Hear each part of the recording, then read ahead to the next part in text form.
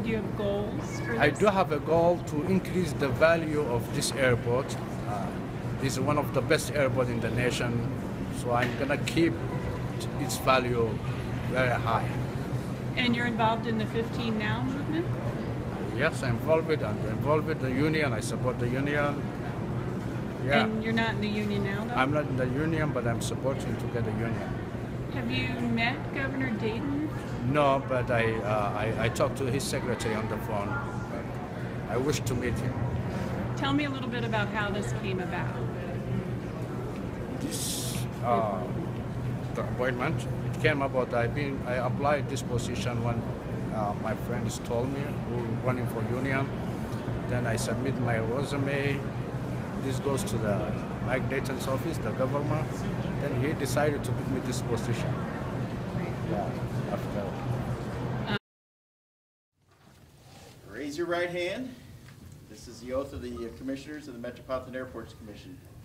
I agree to support the Constitution of the United States and of the state of Minnesota, and I will faithfully discharge the duties of my office to the best of my judgment and ability. Say I do. I do. Congratulations, welcome. This is very exciting. I couldn't believe that it's me when I heard my name. Then uh, second day I got a, a, the letter from the governor. When I opened my mail and I got and see I read my name, I said, oh, this is a real. This is a big victory, big victory for my co-workers and for all East Africans. I'm the first East African who get this position, and also to my district where I'm living right now. So this is great, great, great victory. And as a Somalian, the new door which I open for my community and show them that we can be something. Everybody who tries to work hardly, be nice, one day you can be something. When I started this job, I started as a baggage runner. Then I became a cabinet cleaner. I went uh, lab, uh, lab and water service. I became a ticket verifier. We used to work at checkpoints. Then last, I became this current position, a car driver. So you can imagine from car driver to commissioner, there's a big, big, big jump.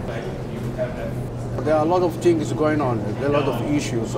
As a commissioner, we handle this airport, and uh, our priority is the passenger who flying or coming to this airport. So first of all, they must get uh, the service we promise to give to provide that passenger. So I have to increase uh, the quality of customer service. Then the second step is to fight for the rights of co my co-workers who they're doing a good job, but they don't get the enough pay. We're working with the minimum wage. And you come feel somebody who has a family or kids and working with a minimum wage, it's very, very, very difficult how, how you handle your life. That's why we're, why we're fighting to increase the. A lot of people who are fighting for union or some of them they don't have a reliable schedules. All the people, employees, Air Serv, Delta, whatever the company they work, they are hard workers. They're very happy to hear about me. Yeah, they're very, very happy, and they support me also. Yeah, they're ready to work with me. I'm gonna try my best what I can do all this to cover. And this is my dream become true. They, uh, they told me this, this uh, there's an open position for this uh, uh, commissioner. Then I said maybe I will be. I applied and I put my resume and everything. Then I put my name there. It is a big opportunity. The one who appointed me, and I'm gonna thank the governor, Mike Dayton, and the one who is the one who appointed me to this position. And I'm gonna say thank you very much, and I wish to meet him, but I didn't meet yet.